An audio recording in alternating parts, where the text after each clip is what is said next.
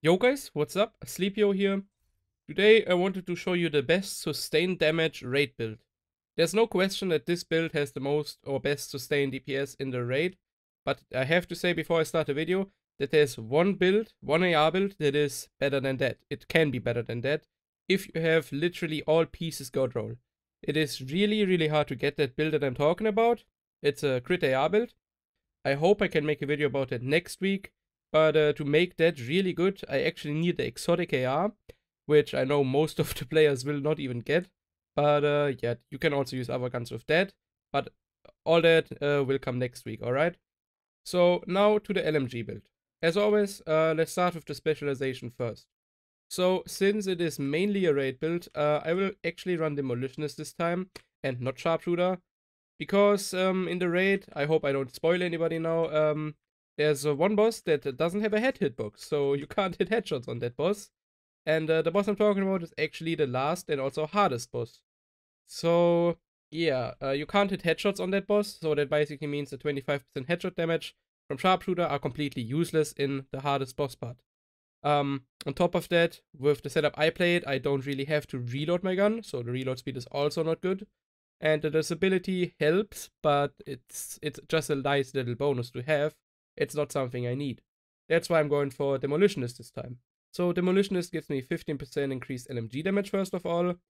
Then I also have that nice grenade launcher, which is actually not good against any of the raid bosses. It's just decent for ad clearing, I guess. But uh, other than that, it's um, it, it's not too good. But with the Demolitionist, you also have 25% increased explosive damage. And uh, that will come quite in handy when you see my secondary gun, which is the Merciless but I will come to my guns uh, after that. So yeah, the 25% explosive damage, keep that in mind, that's, pro that's gonna be important later. Now to my guns. So, since it's a raid build, you gotta swap your guns in between, at least one time. As LMG, I would definitely recommend the M60, um, either the black market or the military. Not the, the classic one, because the classic doesn't have a muzzle.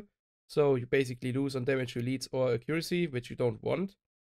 Um, and yeah, M60 has the highest base damage out of all the LMGs. That's why you should run that. So for the end boss and probably Lucy and Buddy, so the robot dogs, I would run uh, Steady Hands as main talent. Landing a shot adds a stack of bonus 2% weapon handling. Max stack is 15. At max stacks, each shot landed has a 5% chance to consume the weapon handling bonus and refill the magazine. So that is pretty good. I never really looked at that talent. Um, it's like um what was the talent called in Division? Meticulous, I think. Where you had like 25% uh, chance to refill the mag on a kill. This time it's 5% chance to refill for each shot you land. And the LMG has quite some bullets. So you just need to hit 15 shots and then you are at that max uh, weapon handling uh, bonus, which is already kinda nice. 30% more weapon handling.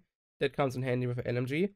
So you just need to hit 15 shots and then you have uh, 85 shots at least uh, left to trigger that bonus. So 85 shots to trigger a 5% chance bonus to get your full mag back. Um, it's not the highest chance, but uh, most of the time I uh, actually get the refill. And uh, that is without the talent extra, which would give me 20% more mag size, and also without the extended mag, which is another 35 bullets. So the perfect LMG would be steady hands, extra, and then the extended mag, that would put me on 165 bullets.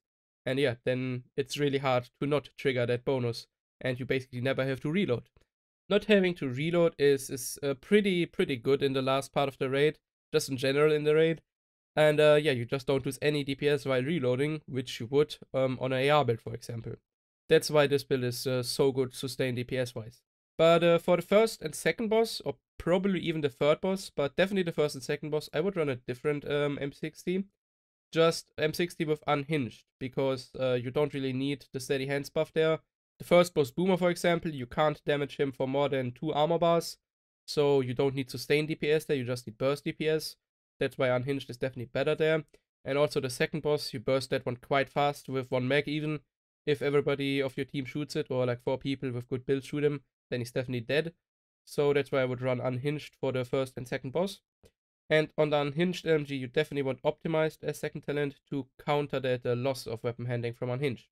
As uh, mods on both of those LMGs, I have as optic the 8% damage release scope.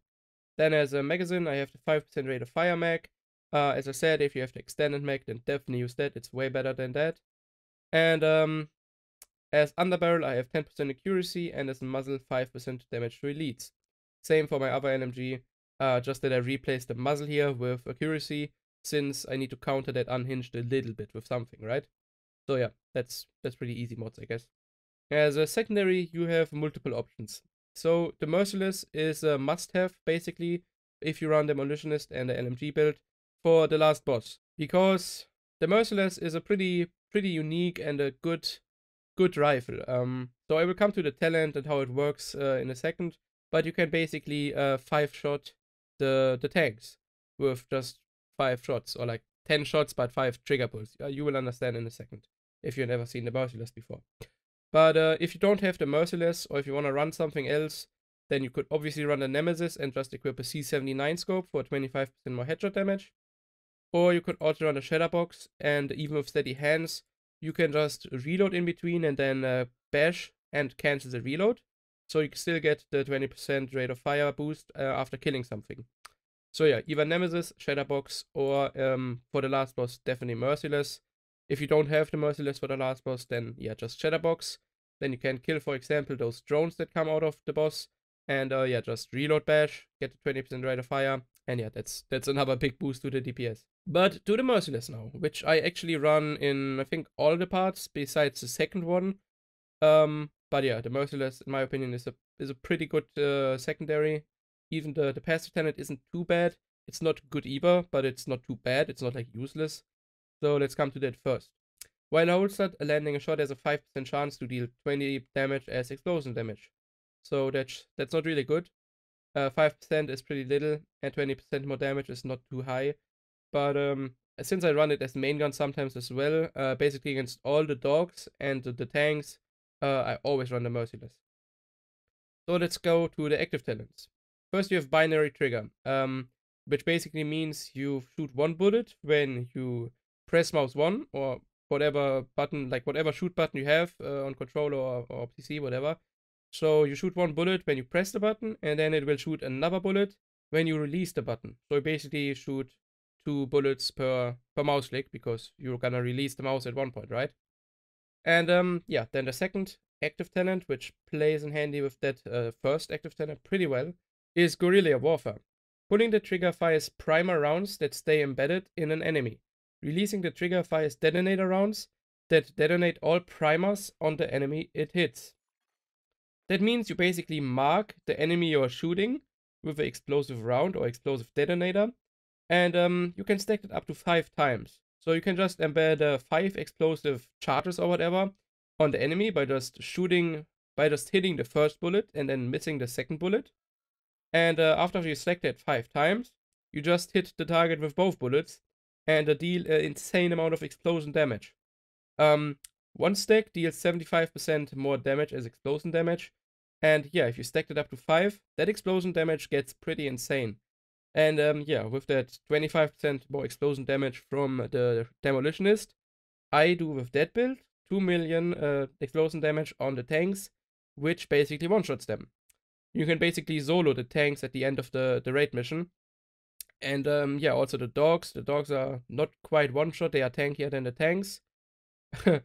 and um, and yeah, but but even if you don't play the raid against all kind of armored targets, uh, that talent uh, or that the merciless is pretty pretty damn good. I would definitely recommend trying that. So um, talked quite a quite a bit about the guns now. Let's go to the gear and a little bit quicker than normal, I guess. Don't want to stretch the video too much. So as mask, you just want a random mask with damage elites and uh, one utility slot to get to 577. Right now I only have 497, um, bit scuffed, but I don't have the perfect chest, so yeah, that's why that those stats are a bit scuffed. But anyways, on the mask you just want high damage elites, and as talent you want hard hitting. My chest is a Petrov chest, and uh, you want a Petrov chest with unstoppable force, because you're gonna have 577 build, so Unstoppable Force is, is kinda must have for that build, or it would be wasted to not run it. I have the wrong chest though, um, I have one with a defensive mod. I would like to get one with an offensive mod, so I would get to 5 and then uh, 5 8. So I could get to 5 8 7. As uh, attributes on the chest, you just want high weapon damage, Then uh, armor and health probably, because you kind of want a little bit of health for the second boss. If you don't want to swap your build or something, then just get a little bit of health for that build as well. And then skill power to get those 7 utility slots. As I said, um, on that chest I have a system mod, which is just modded with extra LMG damage. That's a generic mod. If you don't have generic mods, then um, watch my generic mod farm video, kappa, or just equip armor mods. That's also fine. My holster is a DH holster, more specific the Mora holster, which gives me one utility attribute and then also a utility mod slot. So that's basically two utility from just a holster. That's pretty good. That's what you want. As talent, at least for the raid, you want hard hitting, as much damage uh, to elites as possible. If you don't want to change your full build just for the last boss, I would just recommend stacking uh, hard hitting or damage to elites in general for the full raid. If you want to maximize your damage though, uh, the first three bosses all have a head, so going for headshot damage, uh, if you can hit headshots, uh, would be more beneficial than hard hitting. I also have a holster with precise, uh, luckily, so I can just swap that out. But I don't want to waste two loadouts for just one LMG raid build, so I just stick to hard hitting and uh, yeah. It's not the biggest damage loss if you just go full hard hitting and not for precise or headshot damage for the first three bosses. As a mod, I also have a generic system mod with LMG damage here. My backpack is a Gila Guard, and I actually didn't talk about the brand set bonuses yet, so let me do that now. So I have 3-piece Gila Guard, which gives me 5% uh, total armor, which is pretty good for uh, Unstoppable Force and your armor in general. Then 20% hazard protection and 1 useless uh, stat. My mask was just explosive damage, which actually comes in handy with the Merciless, but it's not needed that it's a China Light uh, mask. You can also go for a Wyvern mask or something. Doesn't really matter. Chest was Petrov, just extra LMG damage. Kind of obvious why you run one piece of that, right? And the holster is just 5% accuracy. Also quite nice. So the backpack. Uh, on my backpack I have armor, weapon damage, skill power. 30 the weapon damage is super low, but I had to reroll the armor. It had I think uh, health and a pretty low health roll as well. That's why I had to reroll that. But yeah, if you get a backpack with armor on it already, you could reroll the weapon damage, which would definitely give you a lot more damage than that. But uh, yeah, as talents on the backpack, you want on the ropes and hardened or hard hitting. Um, both are kind of fine, but obviously the more armor you have, the tankier you are, and um, yeah, also more value for unstoppable force, which is nice. But yeah, hardened or hard hitting here. On the ropes, um, in the last part at least, it's not too useful. It won't be active that much, and also in the parts when you run uh, the Reviver Hive, because you don't deploy the Reviver Hive and destroy it, right? So on the ropes won't be active that much in the raid, but uh, there's just no other build that's better than that. Because with that build I have 4 generic mod slots, which is basically 20% LMG damage for me. And why would I skip on that and just go for other build, right? It, it just doesn't make any sense to go for anything else than uh, a 577 build if you want to stack as much damage as possible. The only other option you have is go for a crit clutch build. Um, but uh, yeah, I, I didn't make that yet. And I don't really wanna make it because that's also pretty hard to do and I don't have any pieces for that yet. Anyways, uh, as mods on that backpack, you have a defensive and utility mod. In the defensive, I just have a LMG mod. And in the utility, a plus headshot damage mod. My gloves are also Gila Guard, and on those you want just a flat amount of health, not a percentage value, because if I just compare those 5.5% health to something like 7k health, the 7k health would still be better than 5.5%, and actually by quite a bit. That's like 4k more health by just by adding 7k health instead of 5.5% health. So percentage-based health values are pretty bad. But what's important on the gloves is that you have LMG damage. That's a decent chunk of your damage, right? As talent, I just have hard hitting again here, um, as I said, stack hard hitting or damage to elites with that uh, raid build. For any other activity in PvE, it's fine if you also have uh, devastating or precise, but for the raid especially, you want damage to elites. In the mod slot, I again have plus headshot damage. Lastly, my knee pads, they are also Gila Guard. Uh, on those, you just want armor as high as you can get. Uh, I only have 16.5k. That's not too bad, but it could definitely be better. But uh, whatever. As talents, yeah, again, you want hard hitting, stack that damage release.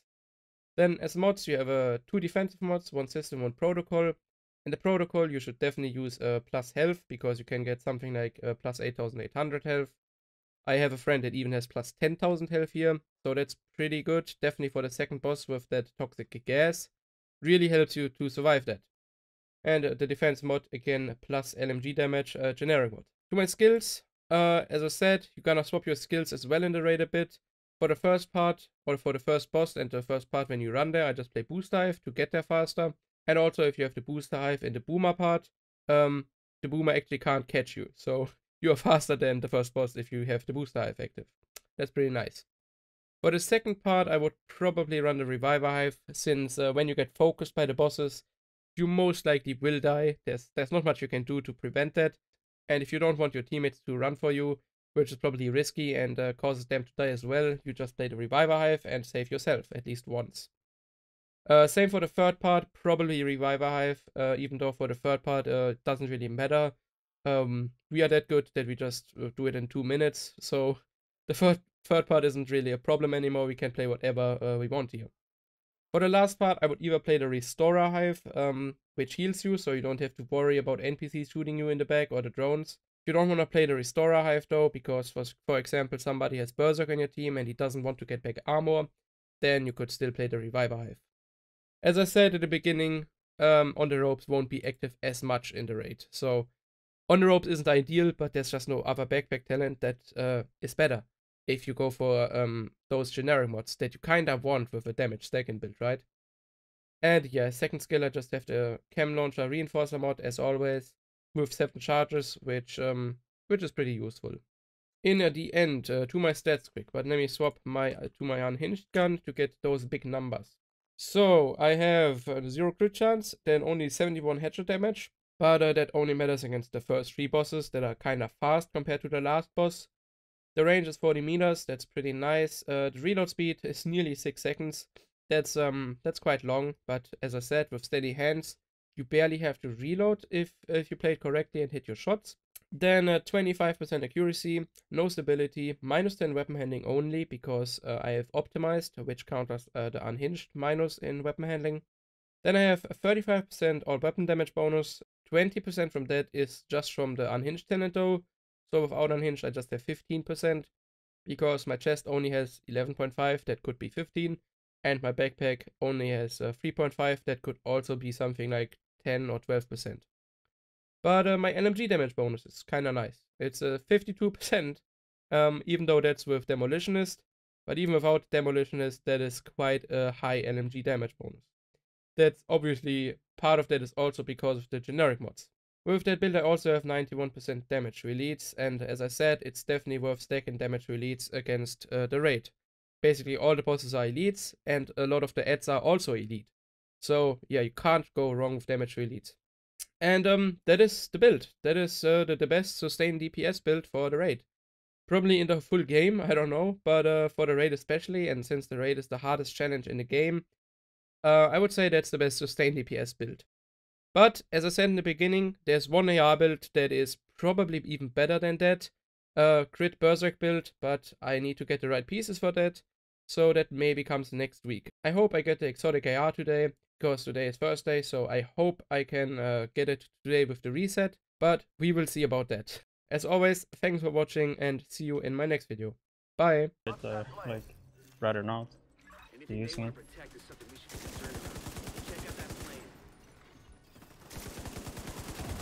Using it. Got the sniper? Uh, actually, um, I forgot to restock. Unlucky. Okay, we almost melted the boss already. Tell It's me that stale. damage isn't good, dude. Sniper's still not dead. That's that's Nemesis, by the way. You guys ready to switch? I mean, I'm I did ready. 114k Whenever you want, headshots. Been. Yeah, been dead tail, for 3, us. 2, 1, go. I mean,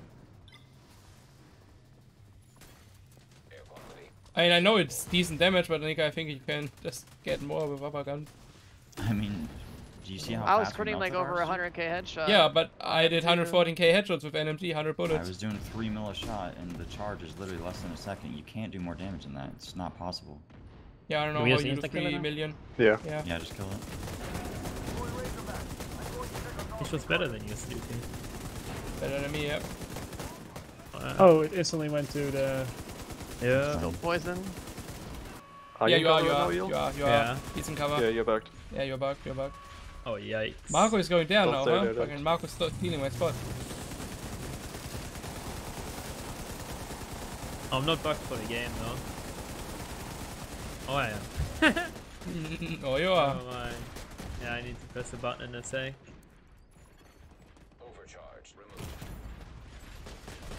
Okay. Overcharge.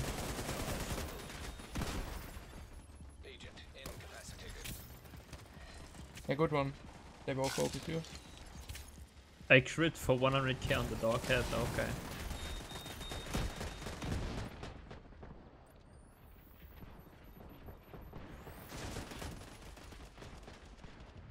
Can't see Lucy by the way. I have enough damage on this, you just do button. Body, body, body, body, body. Scattered. Oh, I'm dead. Yeah. I'm dead as well. I guess it's it's because Staggered I out of died off the cover. bug. Lucy moved away. I mean, that's the highest it's at damage I did with at least Merciless with that build. right?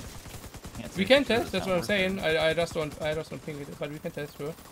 Not You also bad. didn't think Nemesis was worth it for Fuck, I it. cancel it, dude. I mean, when I saw one 1.4 million damage for me, I yeah, I didn't think It's it because is. of the damage you up at the beginning. This is so easy clap now. Yeah. I'm good. Okay. Just keep going. Ready at one. I'm waiting for the boss, but. Yeah. But Yeah. the Let's- Roma can go. do that. Pretty much. Roma- Alright, ready at three. Two is ready. Yeah. He's at four. It's Go, go, four. go. I'm, I'm bursting him. Oh, you should be He's fine, right?